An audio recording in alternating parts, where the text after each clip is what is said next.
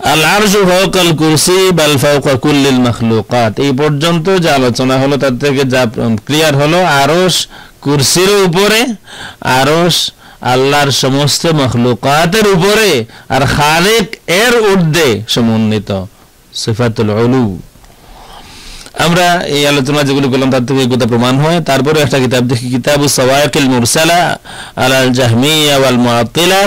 ইবনে কাইম আল জাওজিয়া হাফিজ ইবনে তাইমিয়ার শাগরিদ তিনি এখানে বলেন পেজ 1308 الوجه الحادي والخمسون بعد المئة الطريق الرابع كان بولن ولهذا لما كانت السماء محيطة بالأرض كانت عالية عليها ولما كان الكرسي محيطا بالسماوات كان عاليا عليها ولما كان العرش محيطا بالكرسي كان عاليا